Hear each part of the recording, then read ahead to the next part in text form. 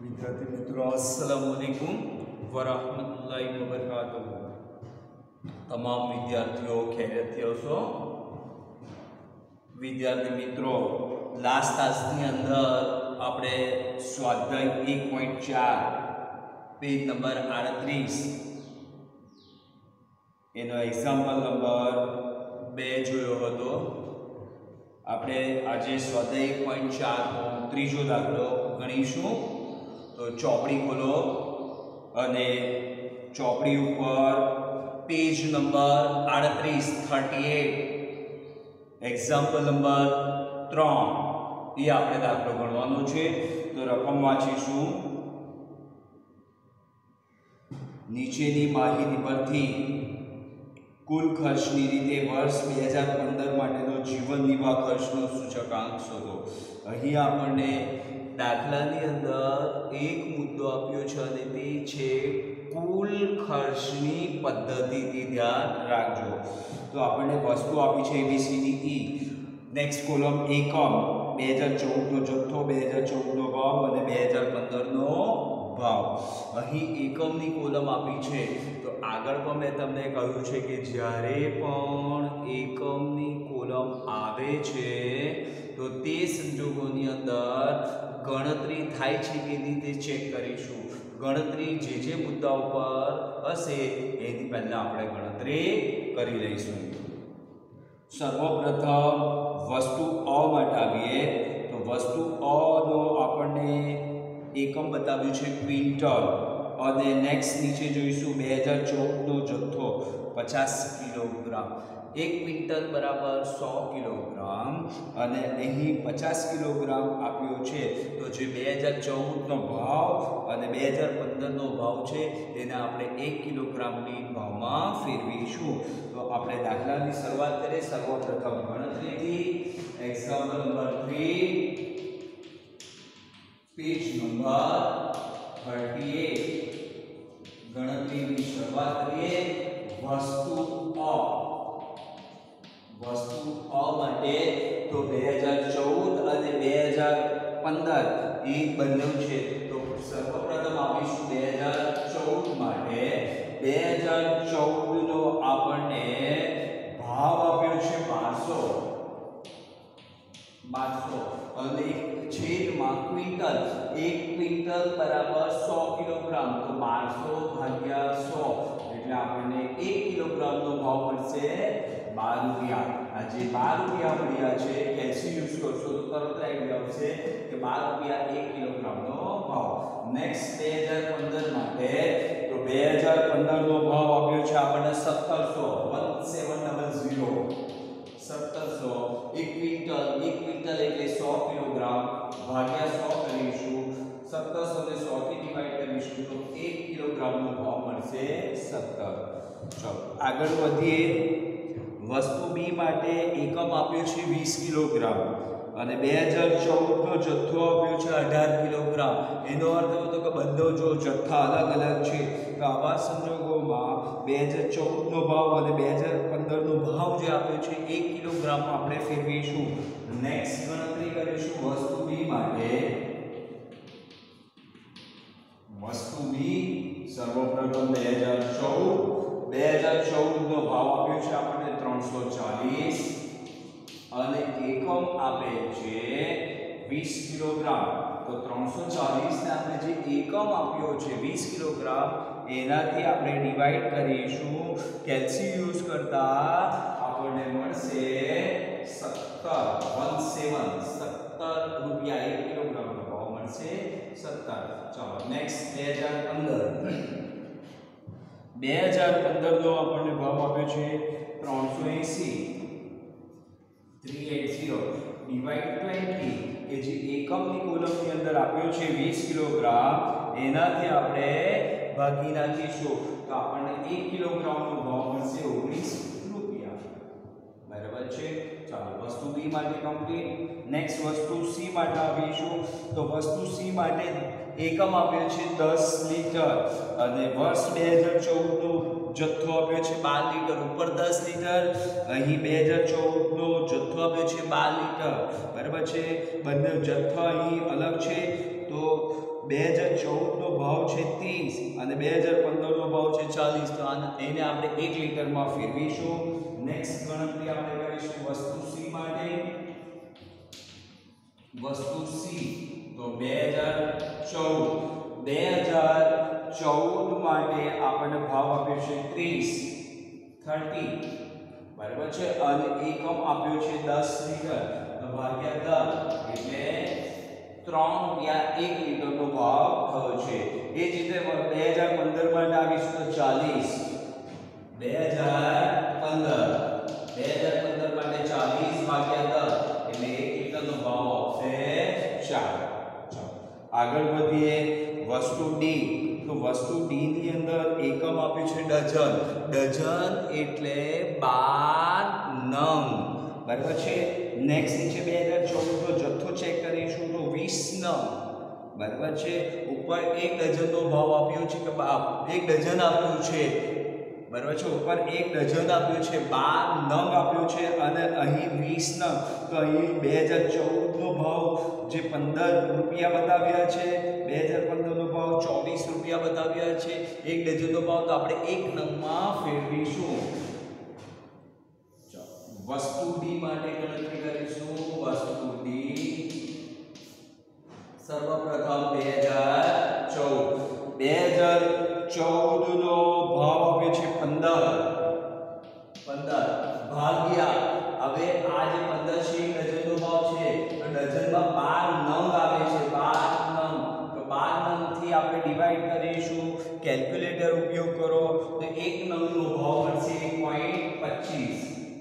Next બે હજાર પંદર માટે આવીશું.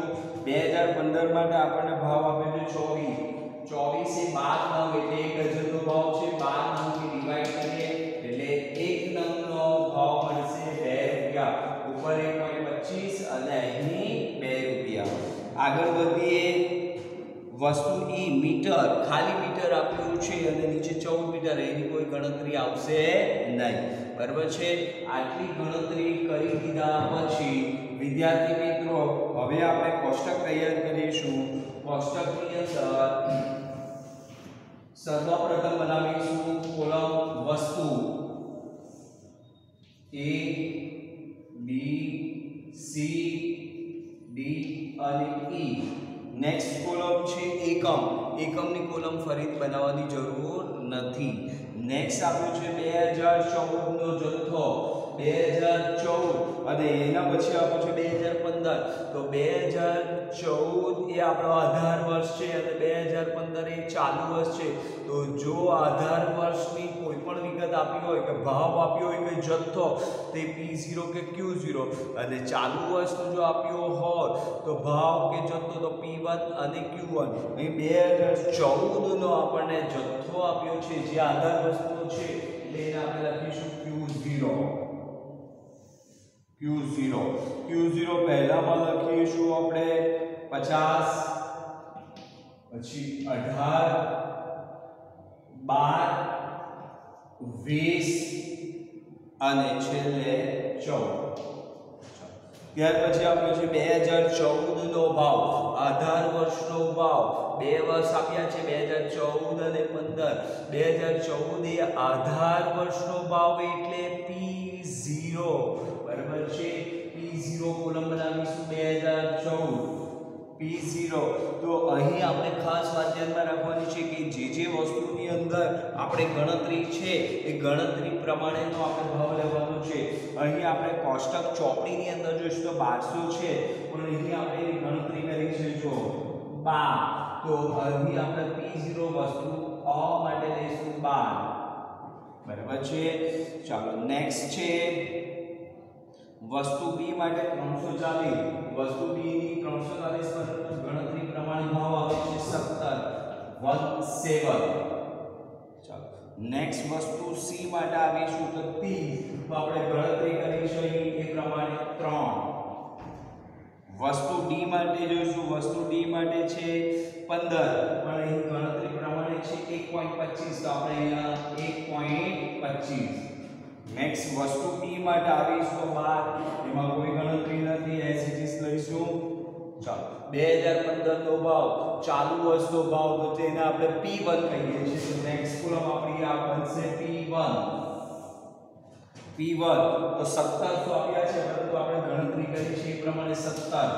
વન સેવન નેક્સ્ટ વસ્તુ બી માટે ત્રણસો એસી. વસ્તુ બી માટે આપણે ગણતરી કરી છે એ પ્રમાણે ઓગણીસ. વન નાઇન નેક્સ્ટ વસ્તુ સી માટે જોઈશું તો ચાલીસ આપેલ છે. તો ચાલીસ આપણે ગણતરી કરી છે 4 એ પ્રમાણે અહીંયા લઈશું 4 નેક્સ્ટ વસ્તુ ડી માટે ચોવીસ આપેલ છે. પરંતુ આપણે ગણતરી કરી છે એ પ્રમાણે બે. અને વસ્તુ ઈ માટે એમાં કોઈ ગણતરી નથી, એટલે આપણે સોળ. બરાબર છે?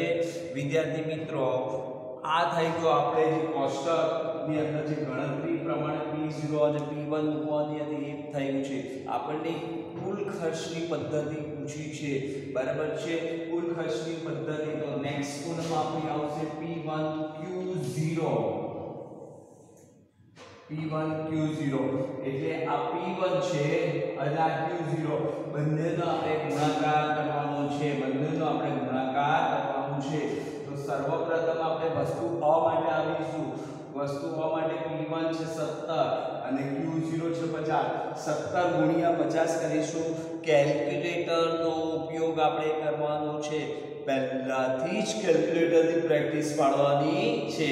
તો 17 ગુણ્યા 50 કરીશું તો P1 Q0 આવશે 850 વસ્તુ બ માટે જોઈશું તો અહીંયા છે 19 અને અહીંયા છે 18 19 18 કરો 19 ગુણ્યા 18 કેલ્ક્યુલેટરનો ઉપયોગ કરીશું. કેલ્ક્યુલેટરનો ઉપયોગ કરતા આવશે 342 નેક્સ્ટ વસ્તુ સી માટે તો વસ્તુ સી માટે ચાર અને આ બંનેનો ગુણાકાર કરીશું 48 ચાલો. નેક્સ્ટ ડી માટે જોઈશું તો ડી માટે બે અને વીસનો ગુણાકાર ચાલીસ ફોર ઝીરો નેક્સ્ટ વસ્તુ ઈ માટે 16 ગુણ્યા 14 કરવાના છે. 16 ગુણ્યા 14 કેલ્ક્યુલેટર ઉપયોગ કરીશું. 224 224 ચોવીસ. સરવાળો કરીશું. સિગ્મા p1 q0 કે આનો આપણે સરવાળો કરીશું. સિગ્મા p1 q0 કેલ્ક્યુલેટરનો ઉપયોગ કરો.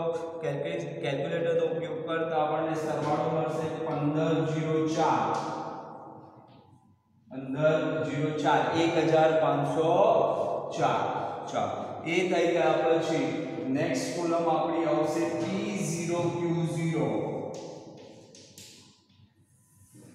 p0 q0 આ આપણો p0 અને આ q0 આ બધાનો આપણે ગુણાકાર કરવાનો છે.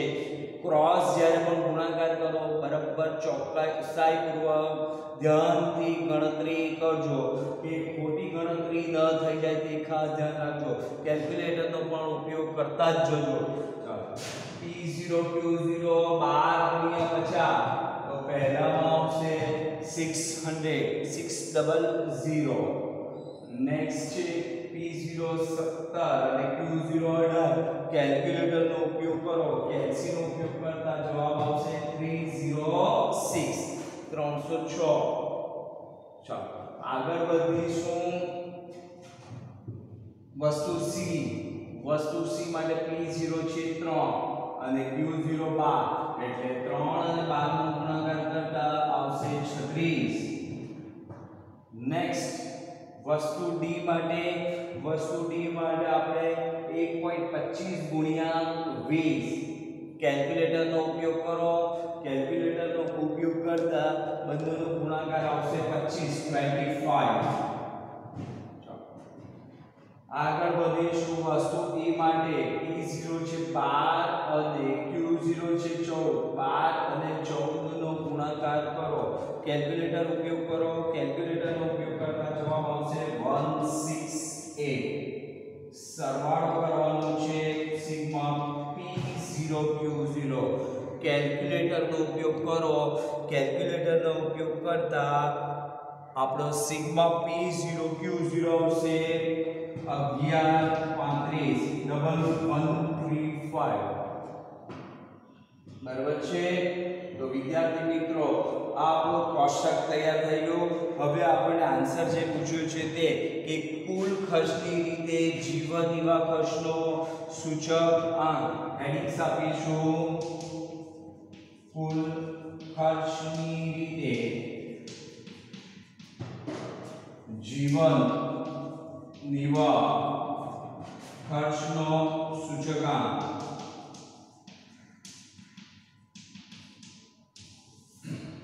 I બરાબર સિગ્મા P1 Q0 છેદમાં સિગ્મા P0 Q0 આખા સૂત્રના ગુણાકારમાં 100 કે આપણે અહીં P1 Q0 અને P0 Q0 એના સરવાળા આપણે શોધી નાખ્યા છે.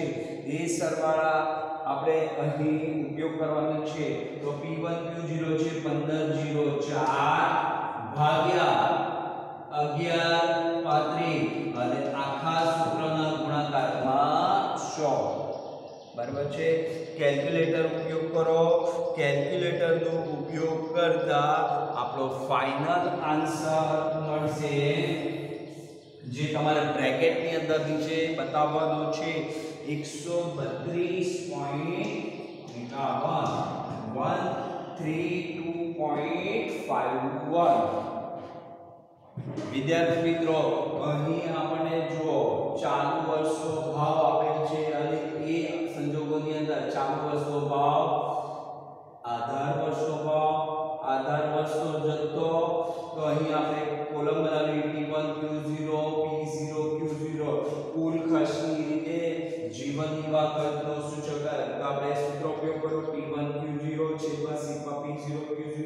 અને ફાઇનલ આન્સર આપણને સૂચકાંક મળ્યો છે 132.51 તો આપણે આ સૂત્ર અને ગણતરી જો ધ્યાનમાં લેતા આપણને આઈડિયા આવે છે કે આ લાસ્પેયરનો સૂચકાંક છે.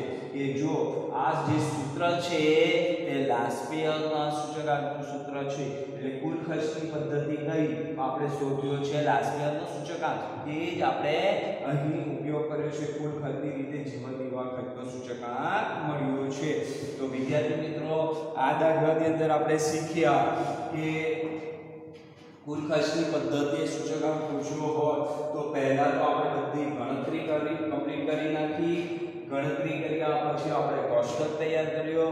કોષ્ટક તૈયાર કર્યા પછી આપણે સૂત્રનો ઉપયોગ કર્યો અને સૂત્રનો ઉપયોગ પછી આપણે જવાબ મેળવ્યો છે. વિદ્યાર્થી મિત્રો, તમારે જાતે પ્રેક્ટિસ કરવાની છે. જેટલી વધારે પ્રેક્ટિસ કરશો, એટલું વધારે ફાયદો થશે. આ દાખલો મેં અત્યારે અહીંયા ગણાવ્યો છે. તમારી અલગ નોટ તમારી જે રેગ્યુલર ક્લાસ વર્કની નોટ છે, એની અંદર આ દાખલો તો ઉતારજો. પણ તમારી પાસે રફ નોટ હોય કે બીજી કોઈ પણ નોટ હોય, એમાં આ દાખલાની ફરીથી તમે જાતે પ્રેક્ટિસ પાડજો. જેટલી વધારે પ્રેક્ટિસ પાડશો, એટલો ફાયદો થશે. કેલ્ક્યુલેટરનો પણ ઉપયોગ કરતા જોજો. બરાબર છે? હવે એના પછી નેક્સ્ટ એક્ઝામ્પલ નંબર ચાર છે તે જુઓ પેજ નંબર આડત્રીસ. બરાબર છે? પેજ નંબર આડત્રીસ. એક્ઝામ્પલ નંબર ફોર રકમ જોઈએ આપણે. તો કયું છે? નીચેની માહિતીને આધારે ઉત્પાદનનો સામાન્ય સૂચકાંક ગણો.